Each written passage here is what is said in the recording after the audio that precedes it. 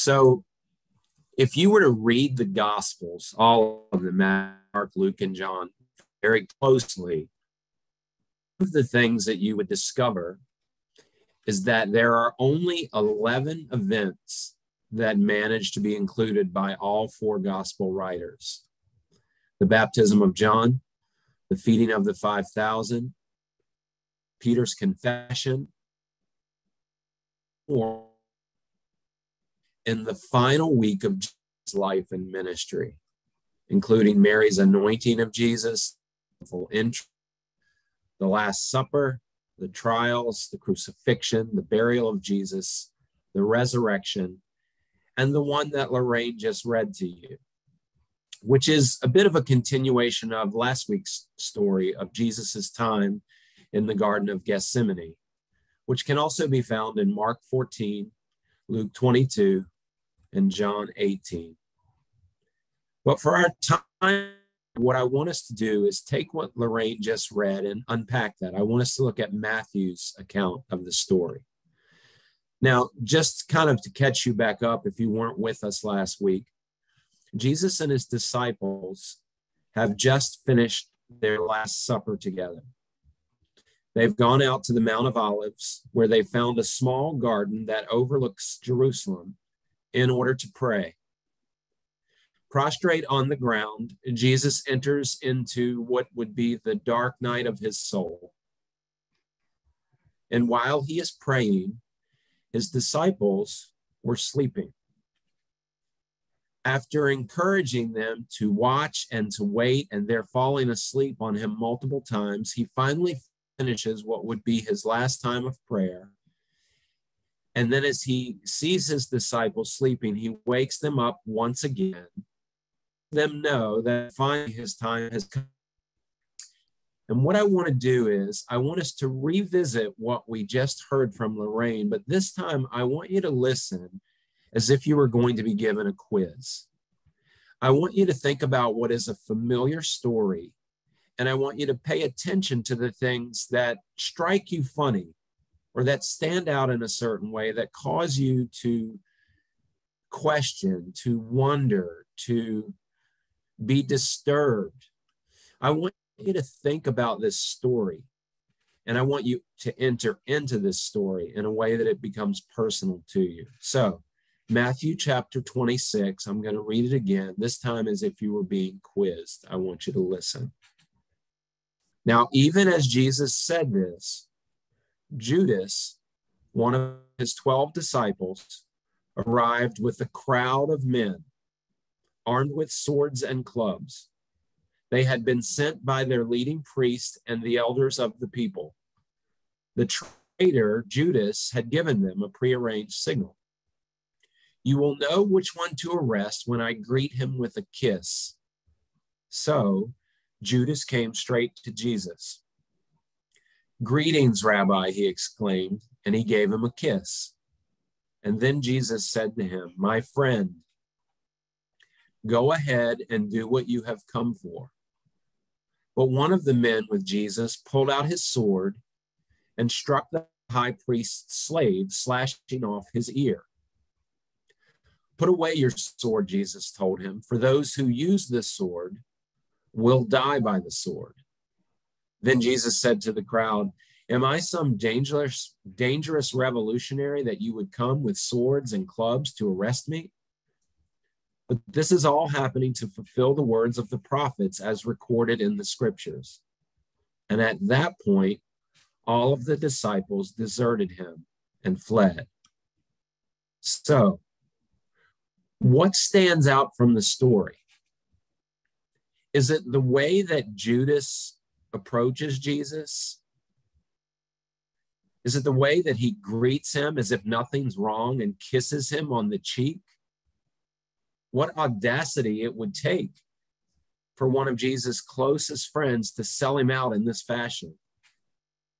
Or maybe it's the way that Jesus responds to Judas. Put yourself in his shoes for a moment.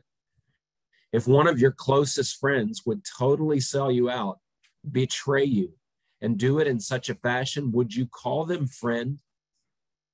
And would you invite them to continue with that action? Or would you resist it? Maybe it's the response of one of Jesus's other disciples as to what is going on. In John's account of this story, we're told that the guy with the sword is Peter. In this version, we don't know who it is, but John tells us that it's Peter. Are we surprised here that he pulls out a sword, that he's actually packing, that he's ready to fight? Maybe it's Jesus's response to Peter's act of violence in restoring the man's ear and telling him to put away his sword and telling him, if you live by this sword, you will die by this sword. Maybe it's Jesus's response to Peter's need for violence. Or maybe it's in the end the final response of Jesus's disciples when they all run away from him. He is unwilling to defend himself by any means necessary and they see how it's going to go down, that they actually leave him there by himself alone. I don't know what it is in the story that speaks to you, and maybe there are multiple things, but I want you to enter into this story. I want you to find your place in it. I want you to discover where maybe you're surprised, or maybe you're disappointed, or maybe you're encouraged in some way. What do we learn about Jesus from this story?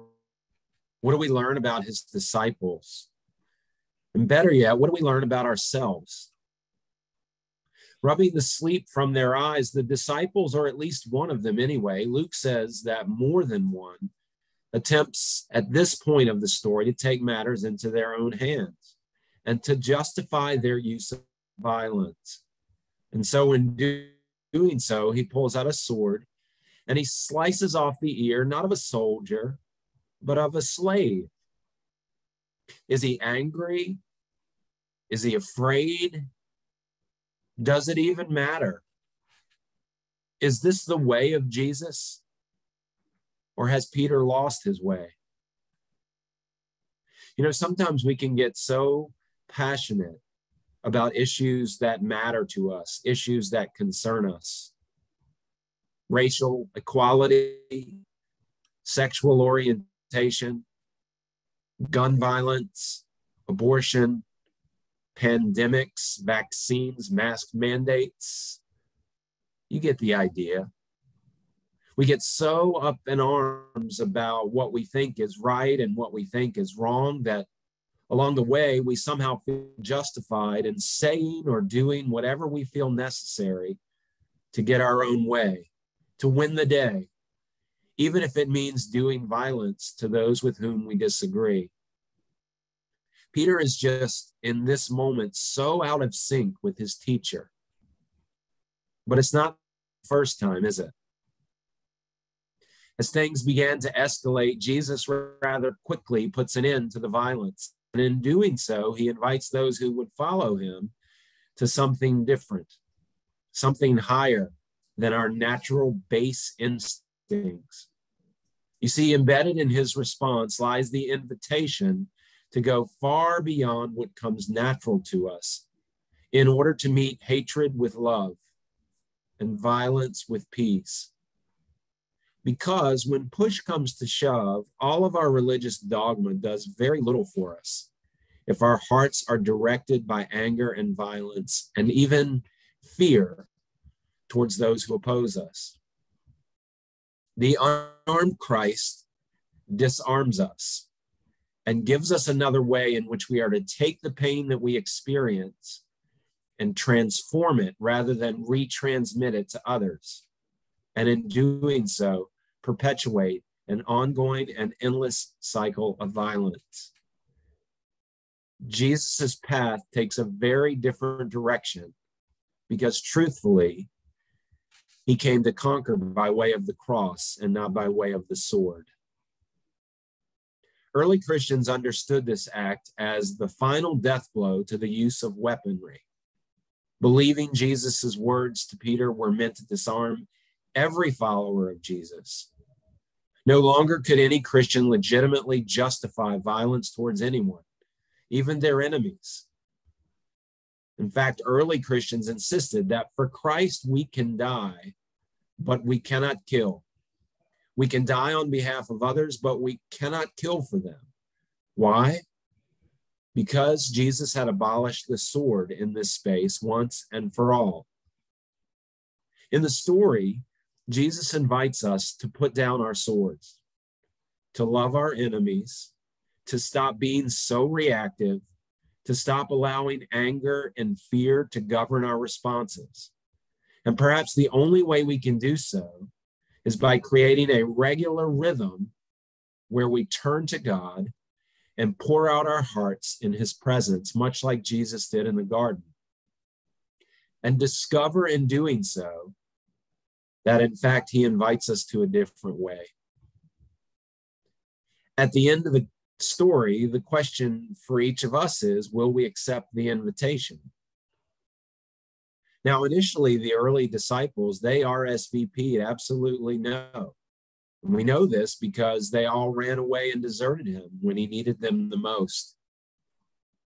When he wouldn't do things the way that they wanted to do, they left him. They failed the test. What about you? With our words and with our deeds, we are either people of peace or we are not. And the way that we become people of peace is by looking at and listening to our lives and discerning where we are and how we're being governed in the way in which we live. If anger is guiding us, if bitterness is leading us, if fear is govern, governing our lives, then peace cannot. Jesus gives us clear instruction about how we are to meet force. And he invites us in doing so to respond in kind. The question is will we? It's much easier said than done, but it's the way of Jesus to which we are called and the way in which I invite you this day to consider in your life how you can make application in places where it is very difficult to do so, to become one who makes peace in your home, in your school, in your workplace, in your world, and not just waits for somebody else to do it. Let's pray. Father, we are grateful for the scriptures that teach us things about how we are to live. We must confess doing so, the lessons are hard. The invitations only become more and more difficult as we follow Jesus into places like this dark night of his soul. We ask that you would help us to consider our own lives and how sometimes because we want to be right because we get passionate over things that we care about because sometimes we're not thinking about a higher better way that sometimes we inflame situations. Sometimes our words and sometimes our actions only make things worse like pouring gasoline on a fire we're so undone by what others say and do that we feel the only way to get back is to meet them with the same kind of force. But would you illumine our mind and help us to see that that is not the way of Jesus? Our lives are to be a light that guide others into the truth. Would you help us to be those people this day, today, tomorrow, and every day? In Christ we pray. Amen.